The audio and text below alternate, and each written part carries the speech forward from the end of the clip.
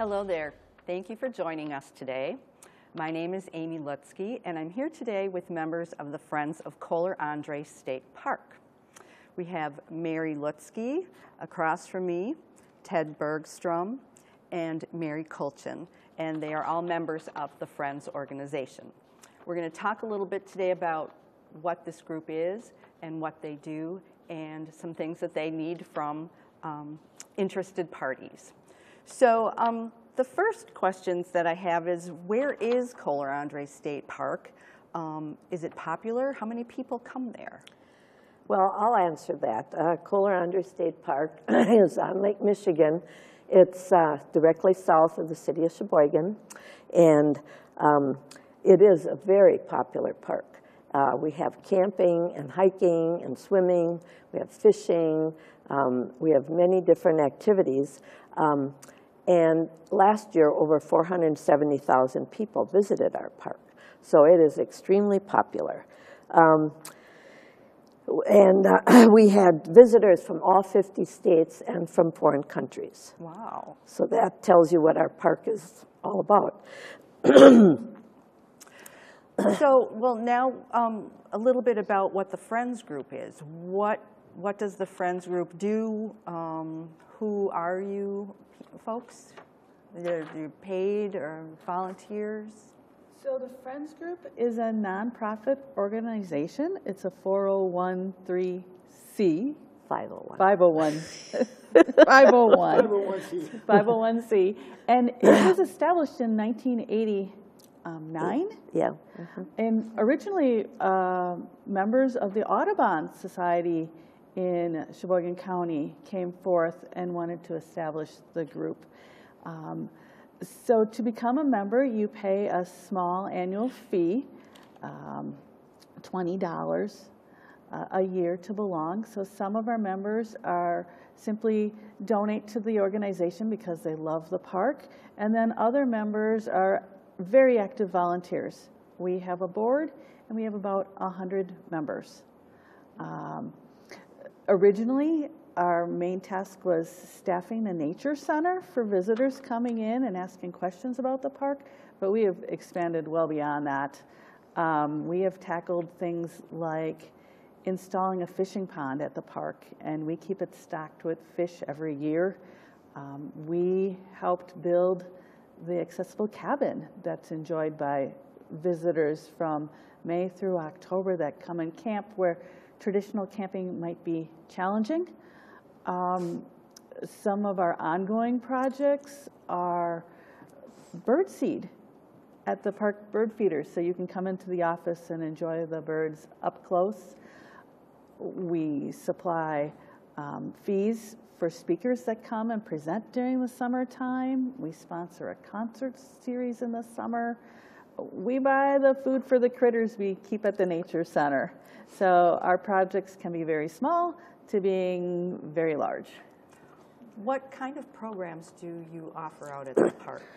Well, a lot of the programs that are done out at the park are done by master naturalists, which we do have a training session every year at the park by other master naturalists, and this is like a 40-hour program or more, and then they get a certificate. But some of the uh, programs that we have are, um, we offer hikes or walks, and uh, they focus on birds or flowers or trees, and these are usually done by master naturalists. We also have the music programs in the summer, usually once or twice a week. Uh, usually on Wednesdays, we bring in a group from the surrounding area, and then they will put on a music program. Usually it's done at the amphitheater, but if the weather doesn't cooperate, then it goes to the nature center.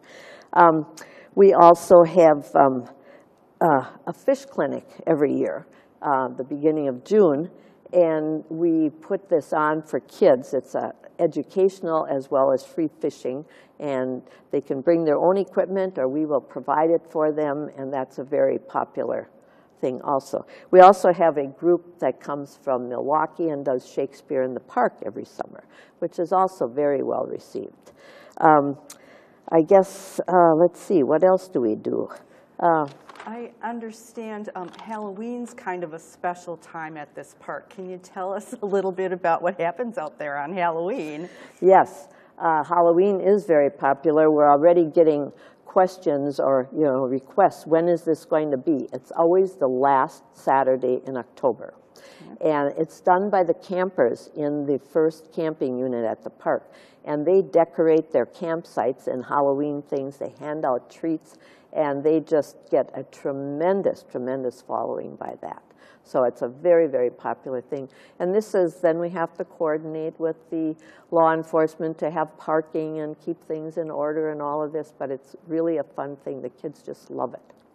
Another one that we really have, I think is neat, is when we have in the Nature Center. We've, another program we paralleled was taxidermy, to actually have the wildlife of Wisconsin on display for the youth and the adults to see. And of course, people keep coming back to our park year after year, so we have to keep updating this. And we're in the we're in going into phase two now of replacing animals, putting new animals in there, and that's very popular. There's also an insect collection, and they have bug, snakes and turtles and things like that. So we try to make it interactive for the children and the adults. When they come back, they're going to see uh, something new and something exciting. So I, I, I really think that's alive and very well done. So it's worth your time to take a trip out there and see that. The other thing is, lots of volunteers have to Friday. volunteer on this program, or it wouldn't work, because these events don't just happen without some volunteers coming up to supervise, chaperone, or just answer questions, or maybe we're serving refreshments, so that's the Friends group that has to cover that when we do those kind of activities. Right, and so some of our volunteers are out there mingling with the public all the time. They're answering questions, they're telling our visitors how to find their favorite restaurant in town, how to get to the library. It, it's bigger than just the park, but we have volunteers who work behind the scenes. So, for example, on Friday mornings from fall into spring, we have a group that comes together and they restore our picnic tables. So we have some of the nicest picnic tables in the park system. Um, they built a, ba- a large bat house in the past. They make um, kits for our Bluebird workshop that's coming up in March. Um, other different maintenance projects. So if mingling with, being out there with the public isn't your thing, but you have a talent for working with wood, um, uh, talent working with concrete, different interest, or you'd like to learn how to do some of those skills, you are more than welcome to come and join our Friday, Friday group. You will learn so much participating in that group. So, um, I have a question about why volunteers are having to do all of these things for a state park. Isn't the state providing funds to pay people to do this kind of work? Unfortunately, they're not. Uh, in our last um, governor, he cut the funds that went to the state parks, so it made the budgets all the tighter. Basically, what the state does for us is they will take care of the buildings that are there. They will put a roof on it, they will replace windows, they'll put in doors, um, they will paint, uh, take care of the plumbing fixtures, showers, and stuff like that. They will maintain the grass and weed control, but that's about where it ends. It's up to us for the friends and funds that we raise to cover the rest of it. Now we do. You say, well, look at all the money you get back from from camping. It goes to Madison. We don't get it all all back. Luckily, we're one of the heavier used parks at almost a half a million people, so we get a fair amount, but we don't get it all back again. So that goes somewhere else into another park that needs it. So that limits some of our funds drastically. That's why if we want amenities for you people to come back here, we have to keep working behind the scenes to create new things because the state does not look for new things to do. They'll maintain what we have. But if it's looking for a new horizon, no, they're not interested. Interesting. So you have a current project that you are planning for and raising funding for right now. What, what is that project? So our big project for 2020 is we would like to replace our playground. Our playground equipment was installed 30 years ago, and it is starting to reach the end of its uh, life cycle.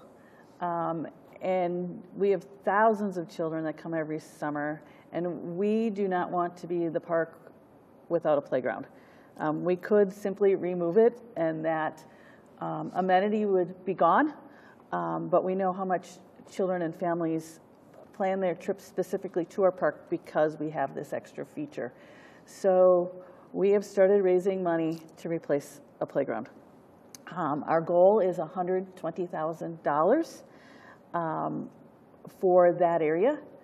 Right now, our focus is on the play structure, and that would include the jungle gym, uh, swings, tire swing, some other equipment for children to play on, and that's about $65,000 to get that part replaced. Uh, the installation and the removal of the old equipment is included in that. Um, but the $120,000 would be installing a surface that makes the playground more friendly for all users. So if someone is using a cane, a walker, a wheelchair, they'll be able to get to the playground equ equipment and participate with their, with their friends and family. Um, we're also looking to redo the path that goes from the parking lot to the playground. We have a path, it's a little narrow and lumpy, and it is also sort of reaching the end of its, its life cycle. Um, so we've kind of put it into phases with playground equipment number one, um, surfacing and pathway coming second, and we'd also like to improve the seating in that area too. I think that's important to do the seating part because people come down there and just watch the little kids play. And if you're walking from the lake all the way back to campsite, it's a nice place to stop and rest. So if you sit down there and just enjoy yourself and enjoy the kids, that's the last stage, but it, yet it makes it so warm and comfortable to stop there. I would just like to comment on that playground being such an integral part of the park because as a person who's camped there my whole adult life practically, bringing my children there and now my grandchildren there, um, that is something that they just love because when you're up in the campground and you're doing your thing with your getting meals ready or whatever and the kids are just kind of bugging each other, it's fun for them, for us to say, hey, you can go down to the playground. Uh, you know, the older ones watch the younger ones, but it's kind of a thing that, oh boy, we get to do something on our own kind of thing. And that really makes for a lot of memories in families. And that's what we're looking to do with replacing this playground is create more memories for children and for families that they will say, hey, I remember when I did this. My two granddaughters, when I talked about removing the playground, they said, oh my gosh, Grandma, you can't get rid of the tire swing. That was the memory that they had that was so important to them. So I promised them we would put up a new tire swing. Right, and some of our equipment will make it easier for everyone to play. We will have a few swings where if you have trouble with your upper body support, one of our swings will help hold you in so that you can swing just like your friends. Um, we're also going to have a swing where children and a, a parent and a small toddler can swing together on the same swing. Um, our playground will have transfer spots so that if you are using adaptive equipment, the pathway will take you to a transfer spot, and then you can also get into the play structure and, and participate with your brothers and sisters or the new friends that you meet at the park. I'd like to add to what Mary just spoke about her, her, her grandchildren liking this. I asked my two sons last night when I talked to them, what do you remember about the park? And Tyler says, we used to make that uh, thing that you'd walk on. It was like, a, like you're walking over water. We would jump on that thing and see if we could go to, get it to go up instead of down. And I said, well, that was a memory that they had. And I guess that's all what it's all about. You want your kids to say, that was fun because they'll bring their kids back. And my kids are 48 and 50, and we occasionally drive out there just to see what's in the park. And, oh, that swing is still there? No, we're about to replace it. Yes, and um, I have memories of that playground as well. And um, in bringing grandchildren there a few years ago, sort of the aging nature of this was brought to mind when one of them ended up with a big sliver in his foot from Yeah. the peeling wood. So, what kind of materials is this new playground going to be made out of, and who are you working with in, in terms of getting this these ideas about how you these transfer sites and these special swings, and how did you find out about all of this?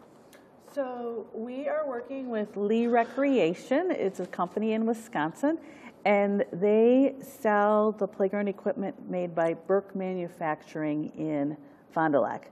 So last winter, Mary and I took a trip to Fond du Lac and did a tour of their company and saw how it is produced, and they showed us the different safety features. They've been in business for a very long time, and their equipment is sold worldwide. Um, They do many of the playgrounds that our local school system use. And so we found them to be the company we wanted to- to go with. Some of- Wisconsin-made. Right. And some of their parts are made uh, by Dutchland Plastics in Oostburg, the plastic parts, and they use metal things, and there's all warranties on them. And uh, so it's, it's a good company to work with.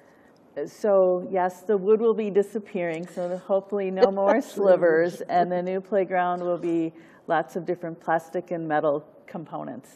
Um, What I we- think's neat about this company is that we can do this in phases. As our money becomes available, you can keep adding on. We've looked at numerous playgrounds in the area, and there's every imaginable thing you could put into this thing. So you could keep adding on for 10 years if you want to, if you want to have that bigger playground, because there's that many choices. So we're trying to find the most popular things that kids like to use and then put it in there in phases. As we get the money, we'll add another unit. We get a little more money, we'll add some more. So it will be in progress. So once you donate, you can come out and see what we have. The first will be there this spring, the first part of it. And then you can come back, well, let's see how they did. And you can come back in the fall and see if it, or the next year. It'll be a work in progress. Yeah. So right now, our playground plan that we have should feature 29 different play elements. Um, All folded into this jungle gym type One of, structure. one of the other users of the park, besides we spoke of camping, is obviously picnickers come out there in the summer. We have just local people just come out there for the day. We have school groups, a lot of school groups come out. Busloads of kids come to the park as their field trip day. So what, they go through the nature center, they do a couple other things, and then they're turned loose on the playground. And of course, they're supervised, but that's the fun part. We can just run and do whatever. We don't have to be, it doesn't have to be constructive. It's just kids playing. Can you tell me a little bit about or describe a little bit for our viewers what the area around the playground is like? What kind of makes that special in terms of the kids being able to go there and hang out? Well, it's down at the south end of the park. It's uh, kind of between the campground and the beach area. Uh, There's a parking lot that comes down there, so there's easy access to it. Uh, It's a sand base, and uh, it is, uh, on the south end of it, there's a a forest or um, pine trees and things, and there's also a trail that goes off from the campground through the forest. So that's just in a nice open area. There's also like a baseball diamond right there, and there's, uh, they put up nets for volleyball and things like that, in, all in that area. So it's, it's the area of park that's kind of pretty open. And uh, it's very, very easy to get to. But not being right on the water, parents Correct. can feel Absolutely. comfortable. Yes. um, Yes, That their not- kids are not going to be, you know, running off into the lake. Right. Because y- you, there's the big sand dune, isn't there, that that blocks Exactly. the view. Right, so- yeah. So it, it's kind of sheltered from the lake too, as far as the, if there's a cold wind or something. But yeah, it's in a nice sheltered area, but it's very accessible, so. It's very open. There's not a lot of trees around it, so when you're, if you're sitting there, you can see everything that's going on. So if you're somebody that's a little more concerned about what the activity is, go sit 100 yards away and talk to your friend, and the kids are still there having a good time. There's no worry. So, How are you um, planning to raise the money for this project? What kinds of activities do you have? Um, how can people who are interested contribute to your group? Well, we have, we are writing some grants. We have some things out there, reaching out to some of the local uh, charitable foundations. And we are also, um, you can uh, send a check to Friends of Kohler Andrae State Park at 1020 Beach Lane, Sheboygan, Wisconsin, and just mark it for playground. And uh, you also can, uh, there are envelopes with uh, information at the park office. You could go and pick up one of those. They have them inside, and if the park office is closed, they have some outside in the little box where you can get one. You can fill it out and turn in your money there, or you can take it home and think about it, talk to your family and friends, see who might want to contribute, put all your checks together, send them out. Uh, you also can donate on our Facebook page. We have a very active Friends of Kohler Andrae uh, Facebook page, and there's a donate button on there, and you can make your donations that way. Um, so there's lots of different ways to help us. You can also do it, even if you don't go out there yourself, but you have friends or family that do enjoy it, you can donate in, in in memorial to them. Uh, you don't have to be involved in it yourself, but it can be in memorial to some, a family member, or a relative, and it still get to us, and it'll still help the cause. Right, so at this point, we have raised about $10,000 towards this project. Um, Our first phase was purchasing a six-bay swing set, and we were able to do that this fall with funds raised from the sale of firewood and ice and other souvenirs that visitors like to um, purchase and take home to remember their trip to Kohler Andrae, and with a match grant from the state Friends of Wisconsin State Park. Um, So we have, our first steps have been put into place. We have our first piece of equipment. We'd like to make the rest come true, hopefully in 2020. I think you just have to come out and see the progress, because we intend to keep working on this, and each time you come out, you'll see it and say, I want to be part of that. This is going to be pretty cool when we get all done. Yeah. Um, so I understand that you also are interested in additional uh, committee members and volunteers. Um, if people are willing to step up and um, support the Friends of Kohler Andrae in those ways, um, what's the best way for them to do that? So they can reach out to us. Um, They can give the park a call, and they'll put you in contact with us. You could also send us an email. Um, Our email right now for this project is KASP fund, F-U-N-D, play, P-L-A-Y, at gmail.com. And we'll get back to you. We're looking for experts in marketing, um, some clerical tasks, anyone who has expertise on perhaps a fundraising sign, a thermometer, and then, of course, a permanent sign. We are open to your ideas and your talents that you can share with us. That sounds like a great opportunity for And even people. if people are not interested in working on the playground project, we welcome people to help us with any of the other things that go on. We are always looking for people to staff the nature center, and there's just many, many opportunities there for people to come out and get involved, whether you want to work a little bit or you want to devote a lot of time. We, we really would welcome any people to join our organization. Some volunteers just volunteer once a year at a special event, um, or maybe once every couple of years to celebrate uh, an anniversary or bring their scout group, or they want their children to participate in an activity with giving back. Other volunteers are there weekly. Um, There's something for everyone. I think if you have to look at what your passion is. I'm on two committees, the taxidermy committee to get some real-life animals in the nature center and the playground equipment. That's what I'm interested in. That's where my effort will go. But you out there may have something entirely different that you are interested in. You might just like to garden. and just want to take care of that because you love to take care of flowers, come out and talk to us. We need somebody to take care of flowers too. There's all kinds of these. Tell us your passion. We'll see if we can find a place. Is there a more beautiful place to volunteer your time? I don't think so.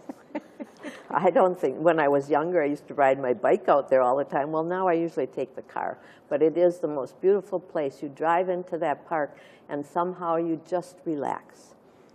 It's just beautiful out there. I left and went to Minnesota twice, came back to Wisconsin, and both times I came back to Sheboygan, Kohler Andrae Park was part of the reason I came back because it was always peaceful and restful out there. We have a little bit of time left. Um, is there anything else you want to make sure that our viewers know about the Friends Group and your current projects? We do put on a lot of hands-on programs throughout the summer. Uh, we do something called fish printing, and the kids just love it. We have uh, white bandanas, and they can make the print of a fish on there, and they use them for little flags in their campsite or at home or whatever. And now adults have been coming to this also, and they bring T-shirts, and they want to put a print of a fish on a T-shirt, and so that's very popular. We do that about four times during the summer. Uh, we also have uh, uh, something called um, uh, the owl pellets. They dissect owl pellets and see what's inside the owl pellet to see what that owl has been eating.